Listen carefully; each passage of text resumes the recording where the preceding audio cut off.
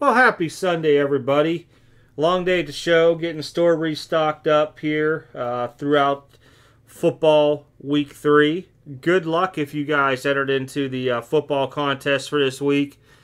Uh, it should be some exciting games for sure, some close ones too. Probably have some big upsets, all that stuff going on. During overtime on Friday night, I have to remind myself this video is coming out Sunday while it's Saturday here somebody mentioned a video to go look at. And I'm not too sure how many people have seen this video, but I'm going to go ahead and play it and I'll be right back. Cleaning up on these autos here.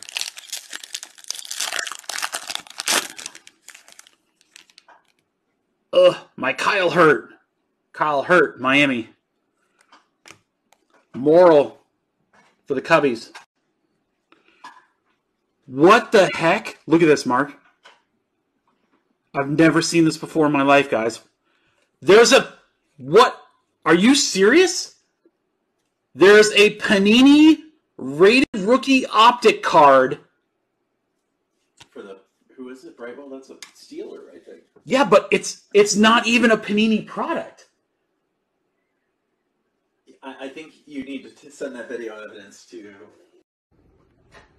all right, crew, we, we have never seen anything like this in my entire life. All right, we've got Bowman HTA sealed packs here, right? We got the first pack done. The second pack, the first two cards, Kyle Hurt and Morel, right? The third card in a Bowman product was a rated rookie optic Gary Brightwell. How does that happen? Gary, a Panini product in Bowman? what? what? All right, that's probably some crazy stuff. Um, the breaker is very well known out there, so it's nothing. It's like a hoax or anything onto it. This truly happened during a live break. I mean, you get like the pieces after he's opened the boxes up and put the packs out in front of them but can you believe it? there was a Panini rated rookie from Optic in there. Wow.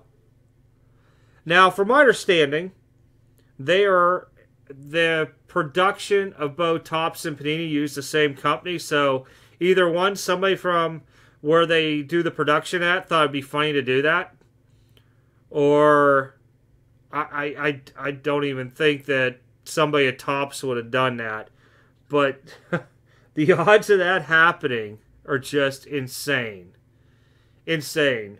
I mean, I don't even know what Topps is going to say about something like that, let alone Panini. I mean, are we getting a preview of like a new company? that'll be coming out way later where Topps and Panini combine and call themselves like Tonini. I don't know. Just something off top of my head. but I figure I'd show the video if you haven't seen it already. And it's just shocking that something like that would even happen. Never would I have expected to see something like that. Never. I mean, I've seen some crazy stuff on the internet.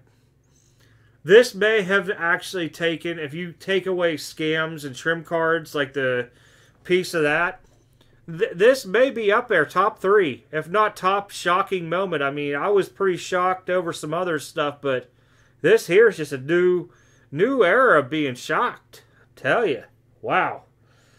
But I don't know how many people saw it. I don't know if it's ever happened to anybody else this year in Bowman stuff. Might see it again. Who knows? I mean, it just can't be one out there like that, could it?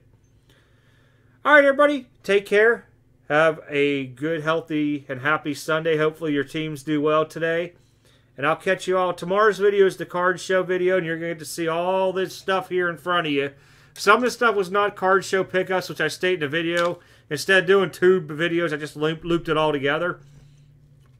But very, very good card show. Very good. I mean, considering Nashville was going on, and at the same time, Lexington had a show, which I never made it to. It was a really good card show. All right, everybody. I'm out. Catch y'all next video.